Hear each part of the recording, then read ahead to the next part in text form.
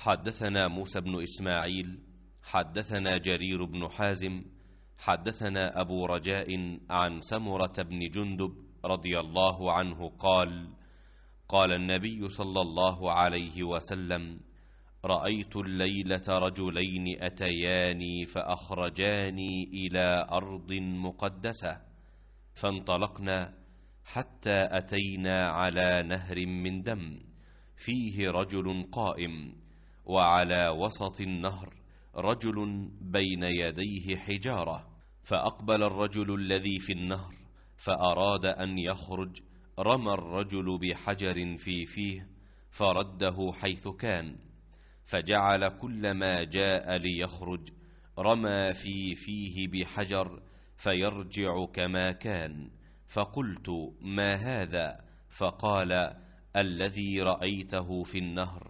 آكل الربا.